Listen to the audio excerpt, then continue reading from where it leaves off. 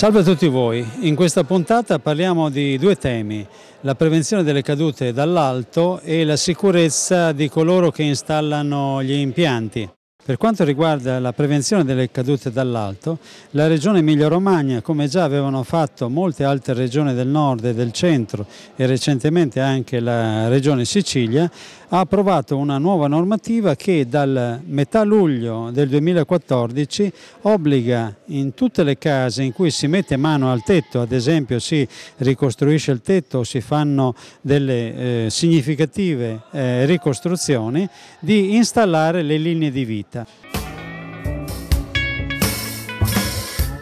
In base alla mia esperienza la manutenzione degli edifici è un fattore fondamentale fin dalla fase di progettazione,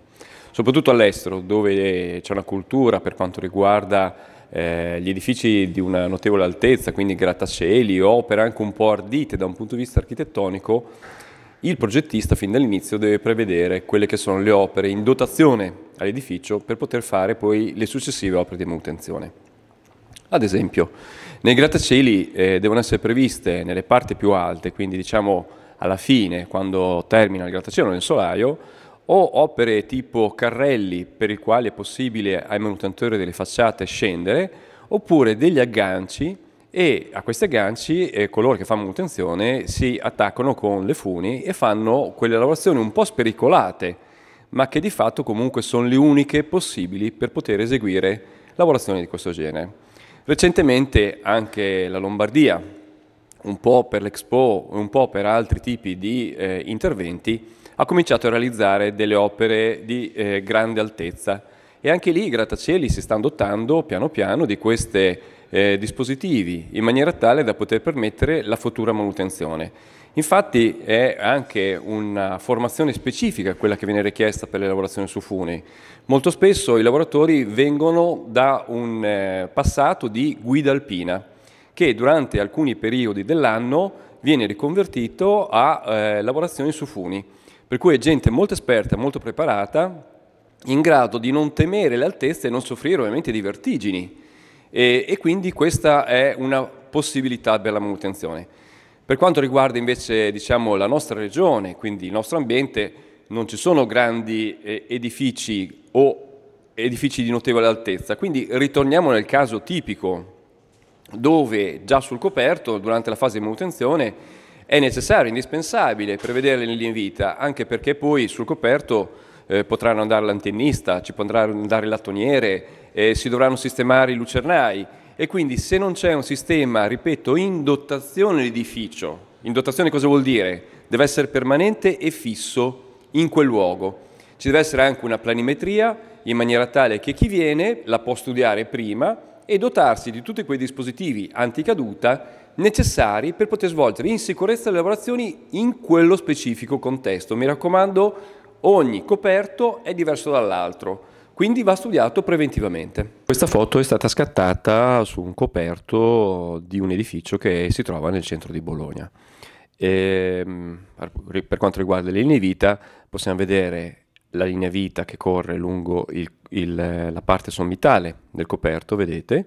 e eh, per poter accedere a questa linea vita si passa attraverso questo lucernaio che viene aperto, quindi l'operatore tramite una scala riesce ad uscire dal lucernaio e in, diciamo, di fianco proprio al lucernaio è posto il primo punto d'aggancio. In questa maniera lui si mette in sicurezza, esce dal lucernaio e poi con il secondo cordino eh, si andrà ad agganciare lungo la linea vita e potrà scorrere. È molto importante notare che la linea vita scorre eh, lambendo quelli che sono i camini. I camini non sono assolutamente stati eh, realizzati per poter supportare la spinta di eh, un'eventuale caduta di un operaio. Al termine dell'installazione è necessario eseguire un collaudo. In questo eh, particolare vedete che c'è un sistema eh, denominato TIRFOR che va a agire sul paletto di sostegno. Di fianco c'è uno strumento di lettura digitale, dinamometro, che misura eh, lo sforzo al quale è soggetto il paletto. Bene, se il paletto supera lo sforzo vuol dire che è collaudato, quindi la linea vita, una volta che è stata collaudata nel suo complesso e e l'installatore avrà fornito al committente tutti i documenti, bene, questa linea vita, come tutti i sistemi, potrà essere utilizzata finalmente da tutti gli operai che dovranno andare a fare le future opere di manutenzione sul coperto.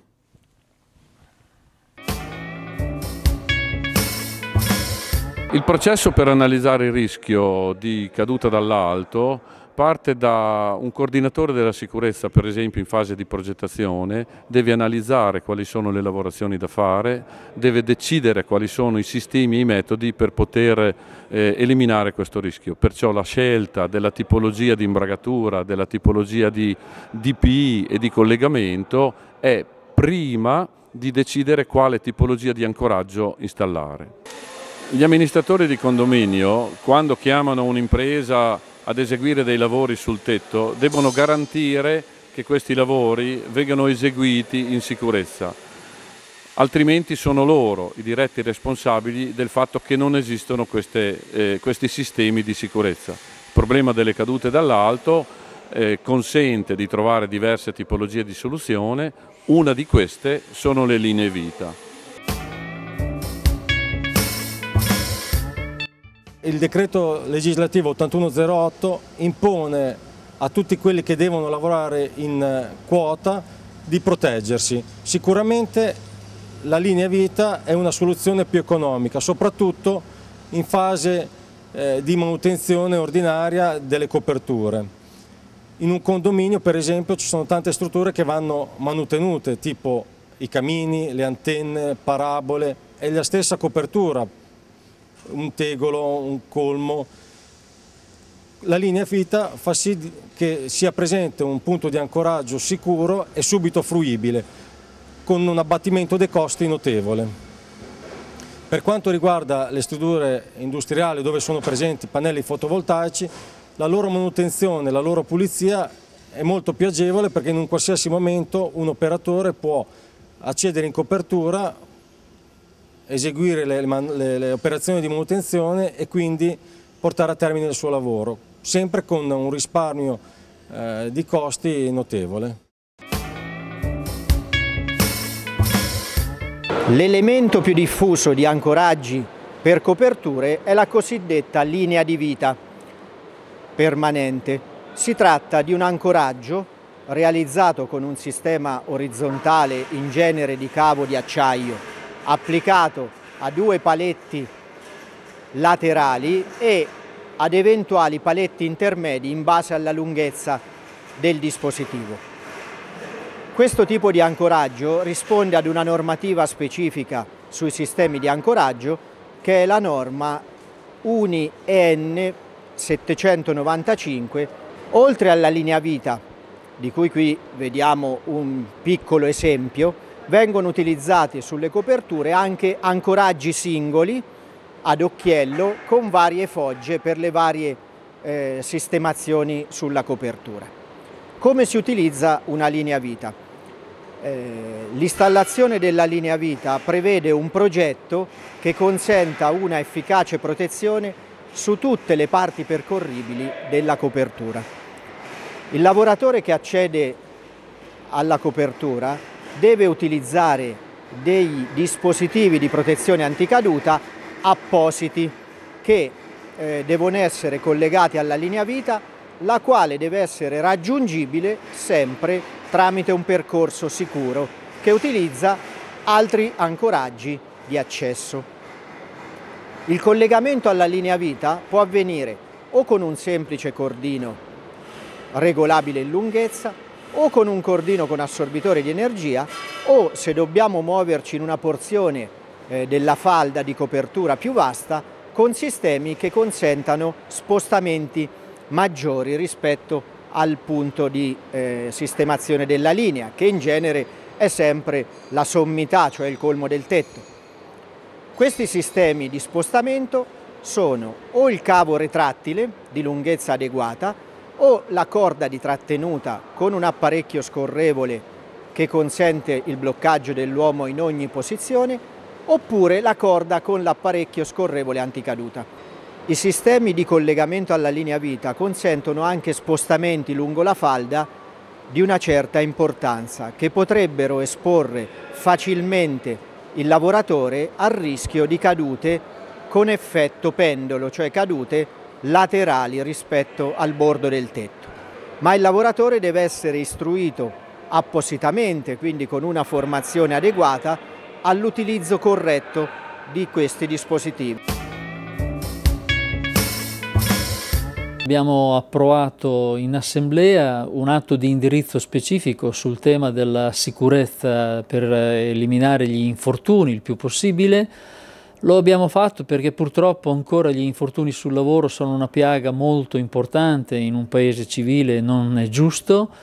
ed è opportuno quindi che si lavori, che si cerchi di lavorare molto di più sul tema delle prevenzioni, anche perché i soldi che si risparmiano adesso, che non spendiamo adesso, poi li spendiamo dopo con gli interessi, perché ci sono intanto costi di vite umane purtroppo, ma ci sono anche costi sanitari, ci sono costi assicurativi e per cui meglio appunto prevenire anche in questo campo che curare dopo. Ovviamente gli infortuni quando parliamo dei cantieri edili e soprattutto quando parliamo delle altezze sopra i due metri, eh, quelli che sono dire, i più importanti, anche i più numerosi, sono appunto quelli delle cadute dall'alto. Con gli ordini professionali è già in corso un rapporto, stiamo già facendo della formazione, bisogna chiaramente potenziarla. Bisogna cercare di avere rapporti e relazioni con soggetti come ad esempio gli amministratori dei condomini, che sono insomma, dire, soggetti abbastanza scollegati e invece per questa direttiva bisogna assolutamente coinvolgerli. Poi eh, una, un fatto di straordinaria importanza che probabilmente finora è stato un po' sottovalutato, ma che ci sono tutte le possibilità per recuperare, è proprio quello di lavorare con il sistema, dei, dei, con il sistema bilaterale, diciamo così, del mondo dell'edilizia. Questo sistema ha un potenziale enorme perché ha il know-how, ha la conoscenza delle imprese, degli studi tecnici. Ecco, bisogna che proviamo magari a studiare ed elaborare un protocollo e vedere un po' come riusciamo a distribuire le attività, chi fa cosa e anche questi quindi chiamarli a renderli, come dire, a rendersi importanti su un progetto di questo genere. Perché, e concludo, credo che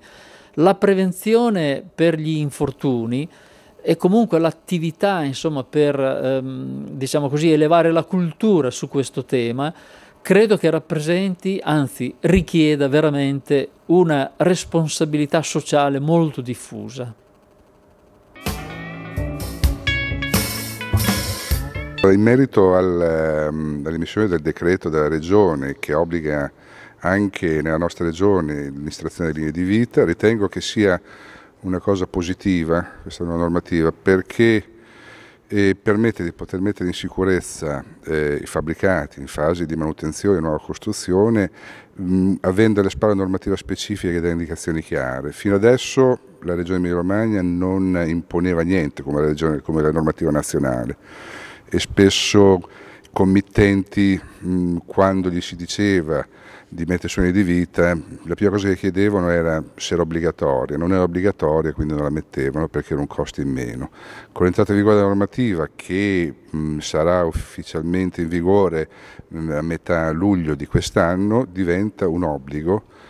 è un obbligo che eh, permetterà comunque eh, alle ai condomini, ai privati di poter installare qualcosa, quindi linee di vita, dispositivi di sicurezza in quote per le manutenzioni successivi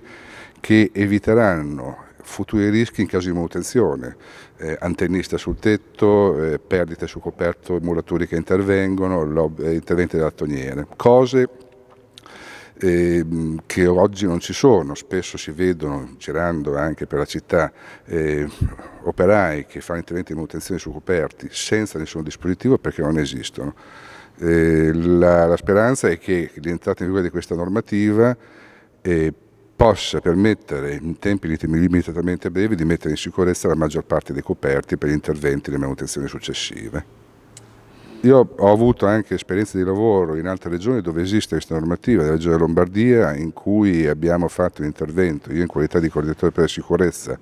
eh, di eh, pose di pannelli fotovoltaici su coperti di capannoni. La regione Lombardia già da diversi anni ha la legge regionale che impone eh, eh, la progettazione e esecuzione di dispositivi di protezione individuali per le manutenzioni successive e mh, le cose funzionano. Prima di cominciare i lavori, eh, insieme alla documentazione di progetto viene consegnata anche la modulistica con indicazione della tipologia di linee di vita che si intendono posare e al lavoro finito viene presentato il progetto con tutta la documentazione necessaria, quello che poi dovrà succedere con l'entrata in vigore della normativa anche della nostra regione. Il sistema di eh, installazione di una linea vita non può essere fatta a caso, va fatta dopo un, una selezione e dopo un'analisi del rischio per arrivare a capire quali sono i sistemi e i metodi corretti per poter installare. Troppo spesso si vedono dei sistemi installati solo per rispondere ad un adempimento e che non hanno nessun requisito di rispondere alla sicurezza del lavoro. In pratica applicare questa delibera da quando sarà eh, attiva,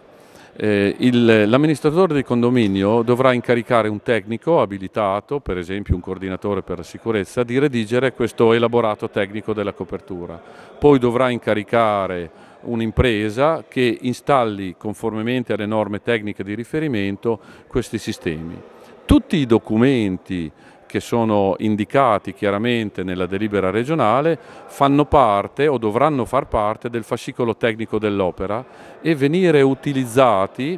al, eh, negli eventuali future manutenzioni in copertura. Se eh, dobbiamo mandare un antennista ad eseguire una manutenzione sul tetto, prima che questo acceda alla copertura dovrà aver preso visione di tutti i documenti, comprendere quali DPI dovrà utilizzare, quali sono i punti di accesso, qual è il modo di transito in copertura per poter eseguire in sicurezza il proprio lavoro.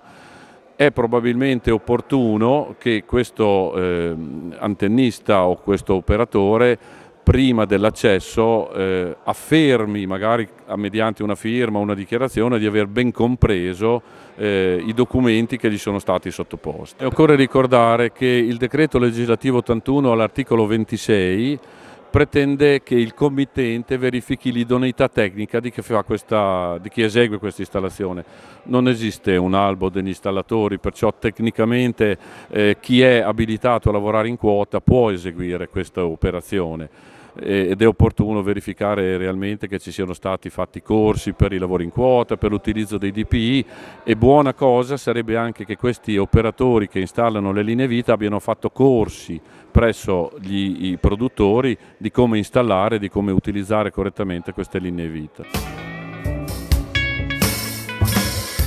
Quanto riguarda eh, questo nuovo atto di indirizzo della Regione Emilia-Romagna, i commenti possono essere sicuramente positivi perché la stavamo aspettando da tempo, volendo è arrivata un pochettino in ritardo, ma sicuramente introduce degli aspetti per quanto riguarda la, la, sicurezza e quindi per i lavori in quota molto importanti perché questa normativa imporrà eh, le future costruzioni e manutenzioni che comunque avranno necessità di un titolo di avere sia la progettazione che l'installazione di questi sistemi anticaduta, questi sistemi che serviranno a proteggere eh, le persone che successivamente dovranno andare a effettuare qualsiasi genere di ispezione o manutenzione su un coperto che dal 15 luglio la norma regionale entra eh, completamente in vigore, quindi eh, tutti i, i, committenti, tutti gli attori eh, che sono le imprese, che sono gli amministratori condominiali, mh, avete, avrete l'obbligo eh, di, di, sottostare a questa norma e quindi di informarvi e di conoscere esattamente tutti quelli che sono le, gli obblighi previsti.